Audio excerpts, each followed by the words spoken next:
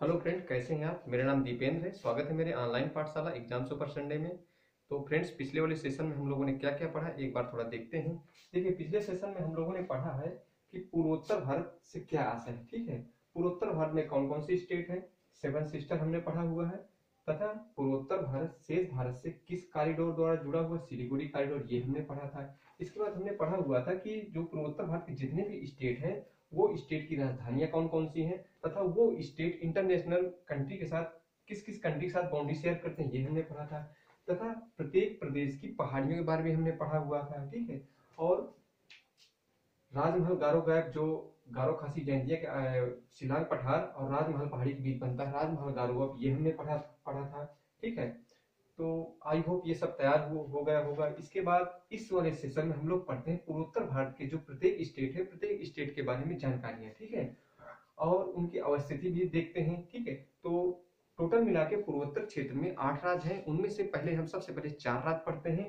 सबसे पहले अरुणाचल प्रदेश नागालैंड मणिपुर मिजोरम ठीक है फ्रेंड्स तो शुरू करते हैं अरुणाचल प्रदेश ठीक है? अरुणाचल प्रदेश को उगते सूर्य का पर्वत भी कहा जाता है। क्या कहा जाता है? उगते सूर्य का पर्वत भी कहा जाता है। देखिए अरुणाचल प्रदेश में यहाँ पर एक कांगटो चोटी है। कौन सी चोटी है? कांगटो चोटी है। जिसकी टोटल ऊंचाई जो है सात हज़ार नब्बे मीटर है। कितने मीटर? सात हज़ार नब्बे मीटर है। ठीक कौन सी चोटी? कांगटो चोटी। ये कहा जाता है कि जब भारत में सूर्य का प्रकाश पड़ता है तो सबसे पहला सूर्य का प्रकाश इस चो, इसी चोटी पर पड़ता है। कौन सी चोटी पर? कांगटो चोटी पर। ठीक है? तो इसलिए अरुणाचल प्रदेश को उगते सूर्य का पर्वत भी कहा जाता है, ठीक है? अरुणाचल प्रदेश जो है, ये देखिए संवैधानिक रूप से पहले ये असम का पार्ट था, ठीक है? असम का जब ये पार्ट था, उन्नीस के पहले, और उसी समय उन्नीस सौ उनचास में चीन में चीन जनवादी गणराज्य की स्थापना हुई थी हुई थी, और उसकी जो फॉरेन पॉलिसी ये थी कि वो साम्राज्यवादी नीति के तहत कार्य करती थी। तो उसकी पॉलिसी को देख करके भारत सरकार ने इसे एक उन्नीस में असम से काट करके एक क्षेत्र का नाम दिया, उस क्षेत्र का नाम था नेफा। क्या था? NEFA. N E F A Northern Eastern Frontier Agency. क्या नाम दिया उन्नीस सौ चौवन में? NEFA. Northern Eastern Frontier Agency. कभी कभी ये आ जाया करता है कि पूर्वोत्तर भारत का ऐसा कौन सा राज्य है जो नेफा के रूप में जाना जाता था? तो डेफिनेटली अरुणाचल प्रदेश से, जो उन्नीस सौ चौवन में भारत सरकार ने इसको आसम से काट करके बनाया है। ठीक है? इसलिए इसको बनाया क्योंकि संवेदन, बहुत संवेदनशील क्षेत्र था। इसको एक गवर्नर के अधीन रखा गया जो केंद्रीय सरकार के अंतर्गत काम करता था। ठीक है? तो जब उन्नीस सौ बासठ में अरुणाचल प्रदेश के काफ़ी इलाकों में चाइना ने कब्जा कर लिया और एक संधि के तहत वो पीछे हटा तो भारत सरकार ने इस संवेदनशील इलाके को उन्नीस सौ बहत्तर में कब? उन्नीस में। उन्नीस सौ बहत्तर में यूटी केंद्र शासित प्रदेश घोषित कर दिया। उन्नीस सौ बहत्तर में केंद्र शासित प्रदेश घोषित कर दिया था 20 फरवरी। 20 फरवरी उन्नीस सौ सतासी को इसे भारत का राज्य घोषित कर दिया। पूर्ण राज्य घोषित कर दिया। ठीक है? उन्नीस सौ बहत्तर में इसको केंद्र शासित प्रदेश बनाया गया। और 20 फरवरी उन्नीस सौ सतासी को पूर्ण राज्य बनाया गया और नेफा कब बनाया गया? उन्नीस में बनाया गया है। नेफा का पूरा नाम क्या है? Northern East Frontier Agency. Okay, ठीक है। हमने कांगटो चोटी के बारे में पढ़ा है। कौन सी चोटी? कांगटो चोटी। अरुणाचल प्रदेश की सबसे ऊँची चोटी, जिसकी ऊंचाई है सात हज़ार नब्बे मीटर। ठीक है? अब देखिए, बात आई अरुणाचल प्रदेश की। देखिए, ये अरुणाचल प्रदेश का एक अवस्थिति है। ये ईस्ट, वेस्ट नॉर्थ साउथ देखिए, अरुणाचल प्रदेश नैतिक रूप से विविध समुदाय से रहने वाले लोग वाला राज्य है, ठीक है? इसके जो पश्चिम में है, पश्चिम में कौन लोग रहते हैं? मुनाफा समुदाय के लोग रहते हैं। कौन समुदाय के? मुनाफा समुदाय के लोग रहते हैं। और पूर्व में ताई समुदाय के लोग रहते हैं, ताई समुदाय के। और केंद्र में तानी समुदाय के लोग रहते हैं। और साउथ में नागा समुदाय के लोग रहते हैं।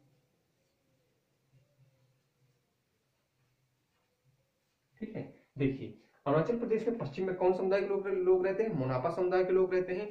केंद्र में कौन रहते हैं? तानी समुदाय के लोग रहते हैं तथा पूर्व में ताई समुदाय के लोग रहते हैं और साउथ में नागा समुदाय के लोग रहते हैं। ठीक है? और उत्तर में इसकी जलवायु बहुत ठंडी प्रकृति की होती जाती है। अपाइन टुंडा प्रदेश की जलवायु मिलती जाती है तो वहाँ पर बहुत कम लोग रहते हैं। ठीक है? अब देखिए, बात करते हैं अरुणाचल प्रदेश की। तो अरुणाचल प्रदेश का जो 60 परसेंट इलाका है ये आपका 60 परसेंट इलाका है।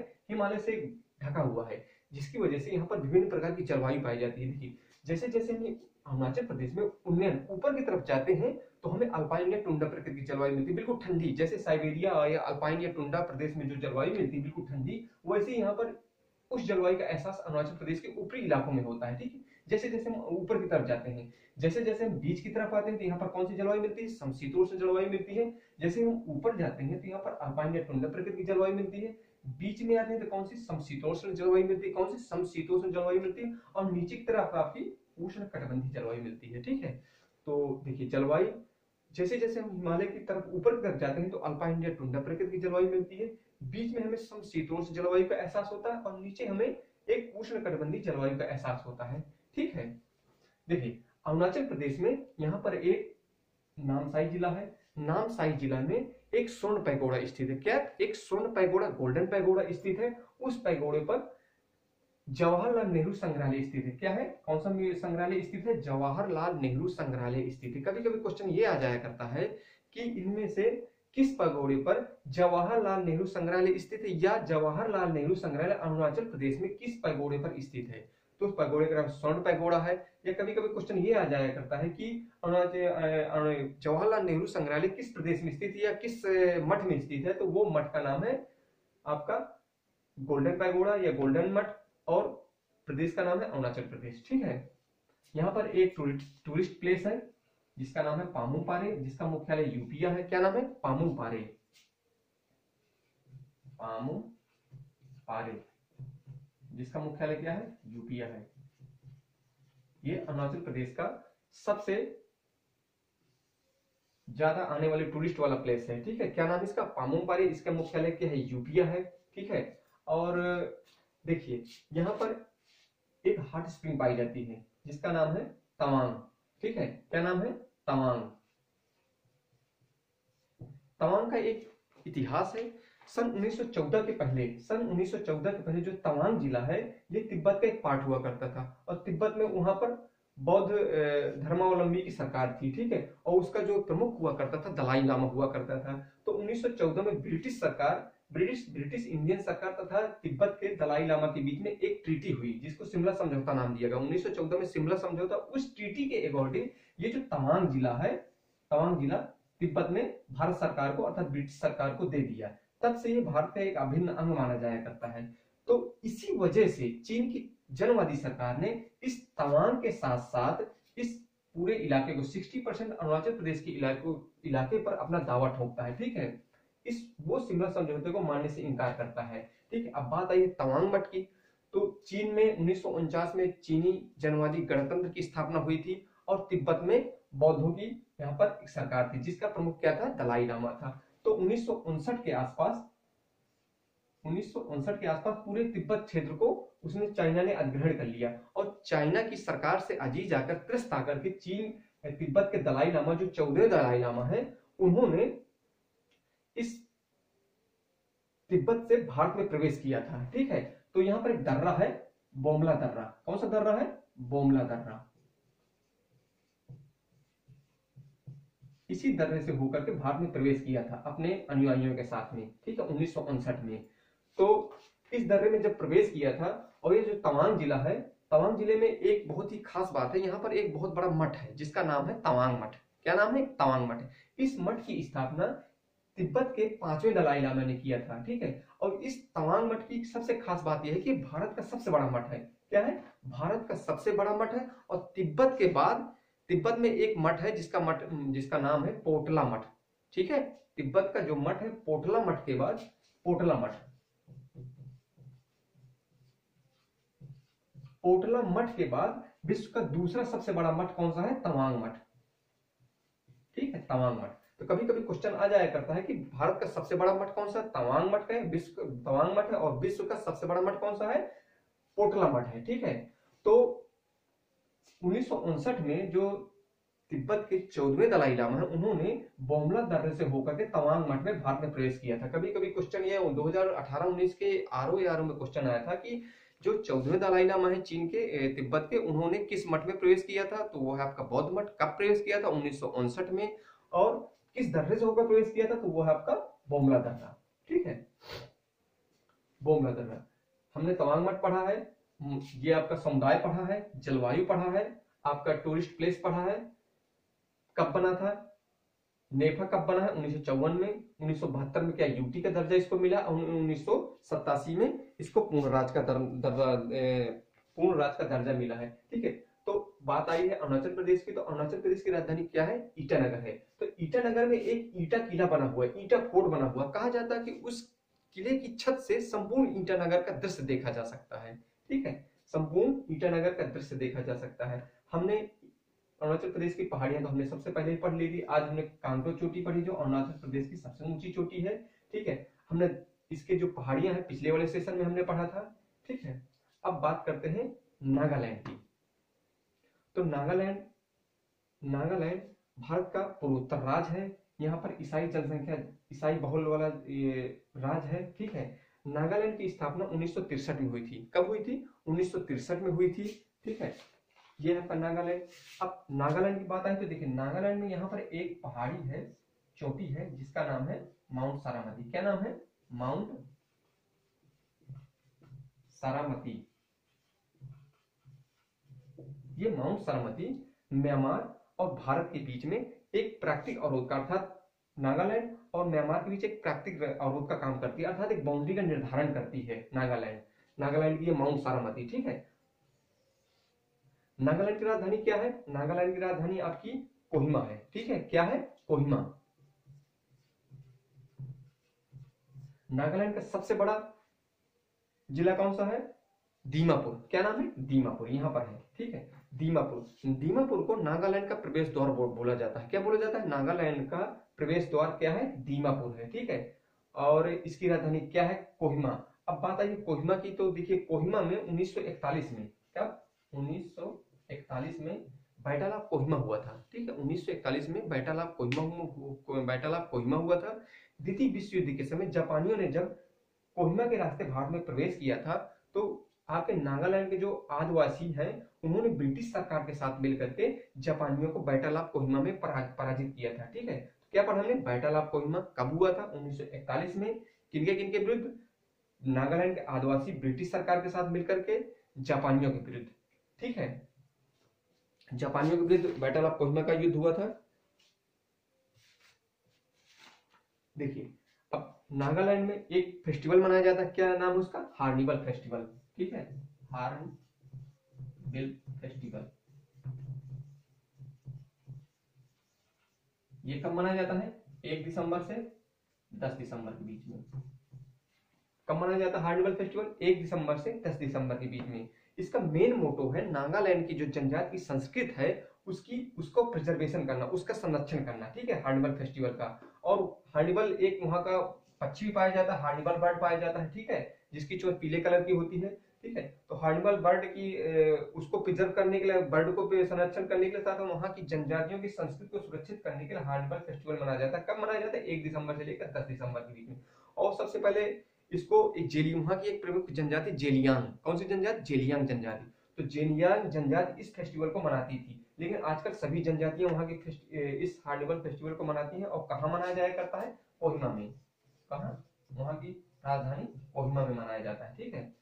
नागालैंड की राजधानी कोहिमा में मनाया जाता है। कौन सी जनजाति मनाती है? आपकी जेलियन जनजाति ठीक है? और नागालैंड की सबसे खास बात यह है कि नागालैंड में एक अमूर बाज, जिसको हिंदी में हम अमूर बाज बोलते हैं, लेकिन उसको इंग्लिश में फाल्कन बोलते हैं। ठीक है? Falcon.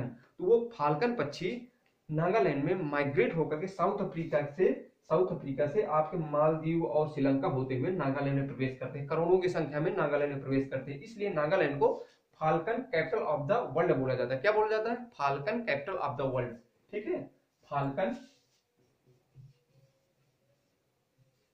capital of the world बोला जाता है। ये पिछले अभी केबीसी में क्वेश्चन भी आया था कि falcon capital of the world पूर्वोत्तर क्षेत्र के, पूर्वोत्तर राज्य के, पूर्वोत्तर राज्यों में किस राज्य को बोला जाता है? तो वह है आपका नागालैंड। ठीक है? नागालैंड की पहाड़ी, नागा पहाड़ी हमने पढ़ी ही थी। तो बात आई नागालैंड की तो नागालैंड देश की आज़ादी के दस वर्षों बाद ही इसे भयंकर आतंकवाद हिंसा तथा उग्रवाद की अवस्था देखा था। इस वजह से नागालैंड का जो समुचित विकास है वो पर्याप्त मात्रा में हो नहीं पाया है लेकिन पिछले डेढ़ दो दशकों में नागालैंड में हिंसा बिल्कुल कमी आई है। इसलिए नागालैंड पूर्वोत्तर भारत का सबसे अधिक विकास करने वाला राज्य बन गए इसकी विकास दर लग, लगभग दस फ़ीसदी है। ठीक है? दस फ़ीसदी है। यह पूर्वोत्तर राज्यों में सबसे अधिक विकास करने वाला राज्य है। ठीक है? इसको ये पहले असम का एक स्वायत्त शासित क्षेत्र था, तोयनसांग के नाम से जाना है। कभी कभी क्वेश्चन आ जाया करता है कि पूर्वोत्तर राज्यों में किस राज्य का नाम तोयनसांग था? क्या नाम था? किस राज्य का नाम तोयनसांग था? तोयनसांग। तो नागालैंड का नाम तोयनसांग था। आज़ादी के उन्नीस दस सालों बाद, अर्थात उन्नीस सौ में इसका नाम तोयनसांग से बदल करके नागालैंड कर दिया गया था तो उन्नीस में इसको पूर्ण राज्य घोषित कर दिया गया है, ठीक है? और इस, इसमें, देखिए, ये नागालैंड है, ठीक है? नागालैंड में एक उग्रवादी संगठन काम करता है एनएससीएन कौन सा उग्रवादी संगठन काम करता है? N S C N. North North Socialist Council of Nagaland NSCN Northern Socialist Council of Nagaland. तो ये दो भाग में डिवाइड हो गए। एक खापलान ग्रुप है, एक है इसाक मोइया ग्रुप है। इसाक मोइया ग्रुप है। तो इसाक मोइया ग्रुप का भारत सरकार के साथ शांति समझौता हो गया लेकिन जो खापलान ग्रुप है, भारत सरकार ने इस ग्रुप को यूपीए के तहत, अर्थात unlawful activity prevent unlawful prevent activity के तहत इसको प्रतिबंधित किया हुआ है। इस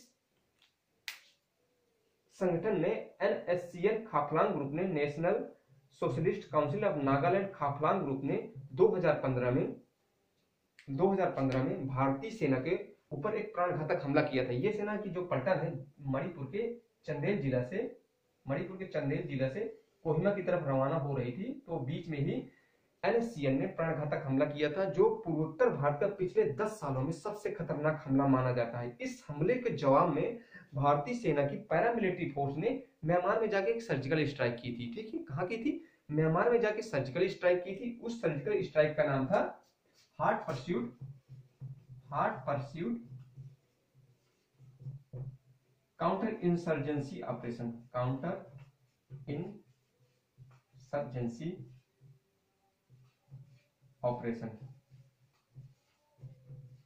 क्या नाम था?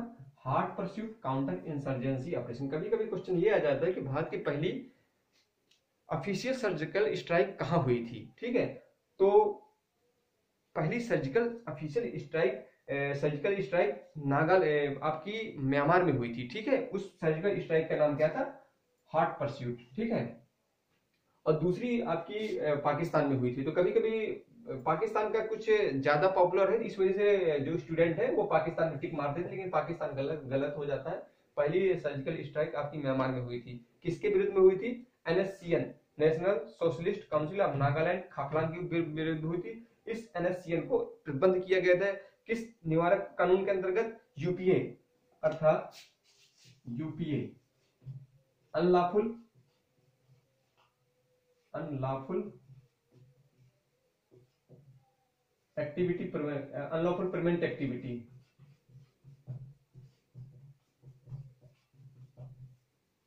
गैर कानूनी निरोधक उपाय के अंतर्गत, ठीक है? एनएससीएन को प्रतिबंधित किया था, ठीक है? अब बात करते हैं आपकी मणिपुर की। ये आपका मणिपुर? तो मणिपुर की बात करते हैं। ज़्यादा गया है।